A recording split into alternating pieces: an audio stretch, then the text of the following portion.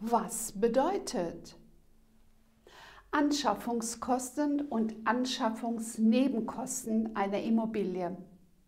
Ah, ja.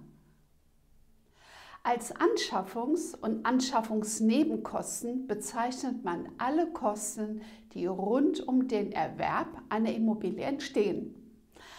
Anschaffungskosten sind zunächst einmal der Kaufpreis.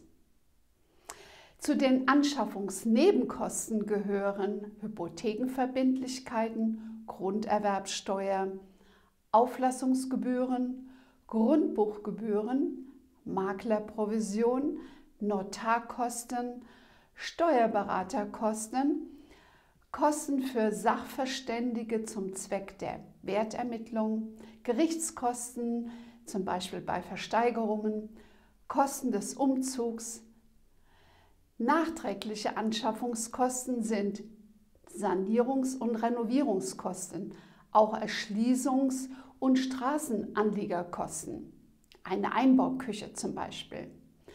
Ein Teil dieser Kosten können Sie bei einer Immobilie, die Sie vermieten möchten, steuerlich geltend machen. Ob dies für Sie zutrifft, welche Möglichkeiten Sie haben, fragen Sie bitte Ihren Steuerberater. Mein Name ist Dorothea Lehrmann von Dorothea Lehrmann Immobilien aus Mainz. Für weitere Fragen stehe ich Ihnen sehr gern zur Verfügung. Rufen Sie mich einfach an oder schreiben Sie mir eine E-Mail. Ich freue mich auf Sie.